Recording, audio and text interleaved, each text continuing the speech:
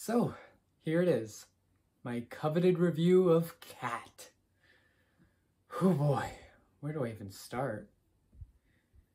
Well, I guess the best place to start is to explain why I got the game in the first place. So, if you watched my last video, then you know I had acquired $10 from leftover funds. I spent $7.50 on Hollow Knight since it was on sale, so I looked for a game that was $2 or under to spend the rest of my money on.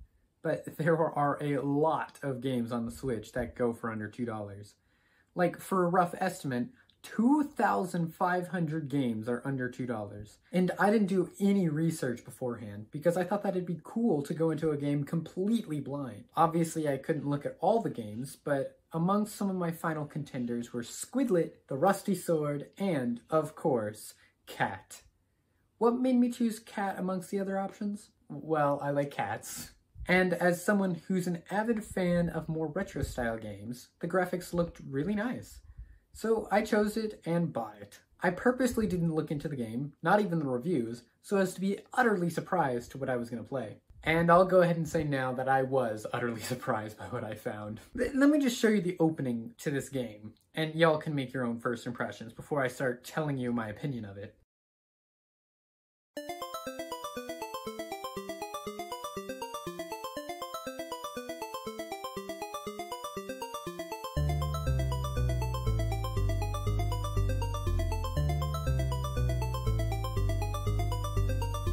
I'll save my comments in a bit, but now here's the opening cutscene to the game.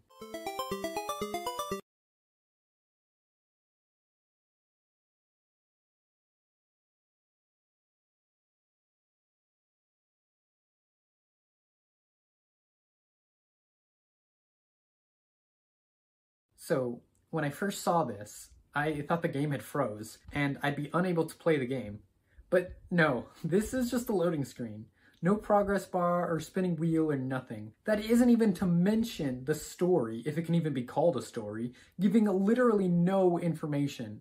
Now, I'm a fan of Mario, so I'm no stranger to stories that aren't very fleshed out, but at least in Mario, you get an idea of your goal for the game to save the princess. It gives you a reason for doing all the things you do and going through each level. But what's the goal in this game? You follow like a spirit wisp into a box and then just teleport to a different plane of reality? Is the goal to escape back to the home from the beginning? Defeat the very obviously evil wisp? It doesn't explain it. There's no reason to do anything in this game outside of just playing it. And no, to my knowledge, it doesn't explain it later in the game. But maybe that's just the intro. Who knows? It's a pretty common phrase to not judge a book by its cover. So in the gameplay itself, I'll start by acknowledging some of the good about the game. For one, as I've already mentioned, the graphics are amazing. I really love the look of this game. It's what attracted me to it in the first place. It's stylized in the way only a retro style game can be, and it's appealing, at least to me. Number two is that it does give you a tutorial style area when you first start to help you get used to the controls of the game in a safe environment which is good game design, and I won't knock it for that. But beyond those two things, that's that's it. Very few things you will hear in the rest of this video will be positive things. I'll try and remain respectful because I do believe that there are people behind this game that probably worked really hard on it, and it would be unfair to judge them based off of their creation, even if it's not good. But still, respectfully, I do not like this game. Anyway, at the end of this tutorial bit, we see a portal that takes you to the game proper. Now, there's a total of six or seven areas, I never bothered to count, uh, for you to tra traverse between, with the portals being your way between them. But to get to these portals, you have to walk through a glorified maze. These little goofballs, or poofles as I'm going to call them because that's funny, will attempt to impede your progress by murdering our cat protagonist. But don't worry, because this little fella has more than the nine lives that a cat normally would. Cat, trademarked, has as many lives as it takes for you to give up this fruitless endeavor of a game and go outside to touch grass. These poofles can be taken out by a hearty stomp a la Mario and literally explode into flagrant bits of poofle dust.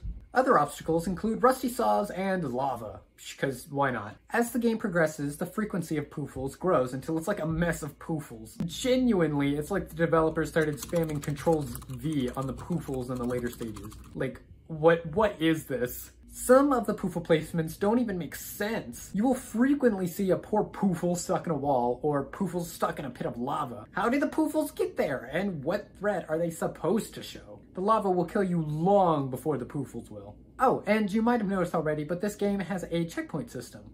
But alas, this is a broken system. Checkpoints aren't handed out at specific safe spots like you might expect, but instead are given out somewhat randomly. I believe it's based off of your horizontal position, but then again, it's not that because I've had different checkpoints at different places in different playthroughs. So you just gotta hope that a checkpoint will spawn in whenever you get a little farther away from the checkpoint. These randomly assigned checkpoints are a real problem sometimes too, because sometimes your checkpoint will spawn over a rusty saw and you'll die immediately upon respawning a couple times till you're able to jump out of the way. I was actually able to get into a soft lock because of this save system. Yeah, this? You see this? This is how my first playthrough ended.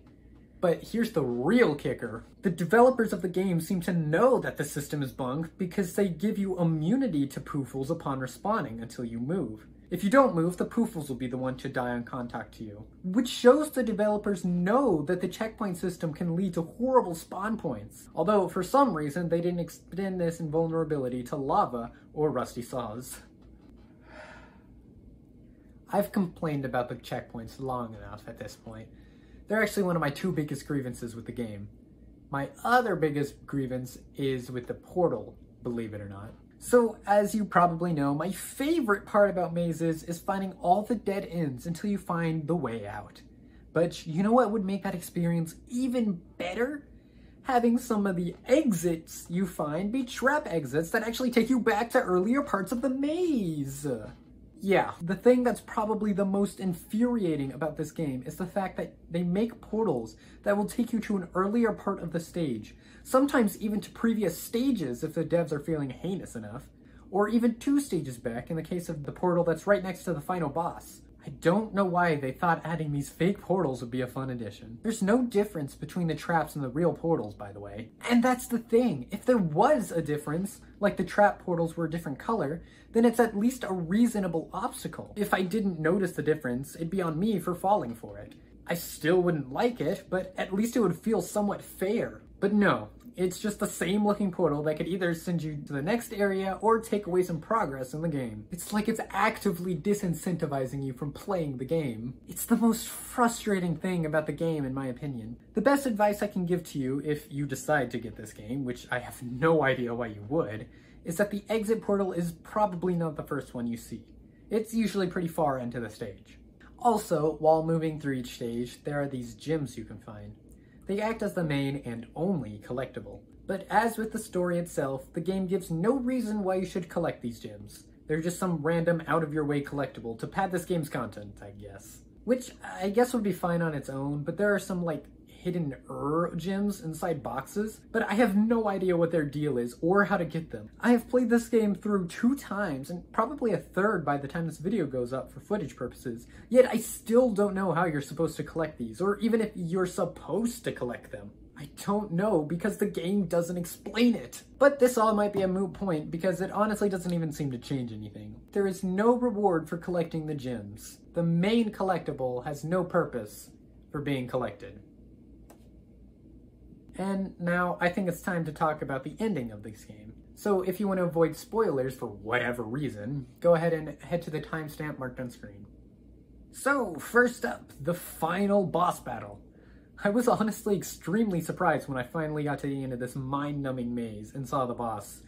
This is the only boss in the game, and the only time the gameplay varies. Your job for this fight is to jump on the boss a whole bunch of times until he dies, the same way you'd kill a poofle. The boss can't even kill you. It's the poofles around his throne room that pose a threat. More of a threat than the final boss himself. And his movement pattern, I'm not even going to call it an attack pattern because he doesn't attack, it's just the exact same spaz out and then return to the middle. So once you get rid of the poofles, you can just jump repeatedly in the same spot and kill the boss. And not get distracted by this portal that sends you back two stages like I did the first time around. The boss was the most anticlimactic thing ever, but I'm glad there wasn't at least another maze. And then he just turns into this angel with gems surrounding it? I have no idea what's going on because nothing is ever explained. If you all in the comments have any idea of what's happening, I welcome the suggestions. Anyway, your reward for beating the game is honestly about what I expected. You get to freely explore the room from the opening cutscene. Quite frankly, I'm not even mad about this. It, it's the kind of reward that's fitting for this level of emotional involvement I had in this game, which is close to none. I do find the Easter eggs on the shelf pretty fun, but that's about it. There's not even credits. Like the game developers themselves are too embarrassed to attach their name to this game. And that's where this game ends. If you close out and come back in, you cannot continue and must start a new game. So what's the moral of the story here? Learn about games before you buy them, I guess. I don't know. I don't know what else to say about this game. It's boring at best and incomprehensibly frustrating at worst. I guess I can rate it on a scale from 1 to 10 just because this is a review, so uh, I'll give it a 2. Eh, no, I'll give it a 3 because the, the graphics are, I do enjoy the graphics. But there you have it. Cat in all its glory. It's not even worth the $2 price tag, much less the $10 they expect you to pay, which how could this game even be conceivably close to worth $10? Like, if a friend made this game and he was learning game design, I would be impressed. But for an actual company that decided to publish this game for money, it's almost embarrassing.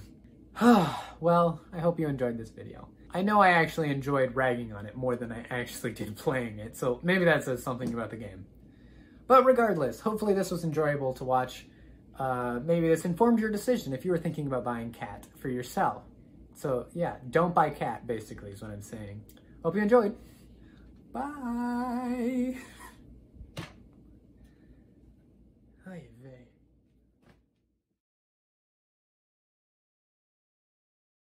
Poofles.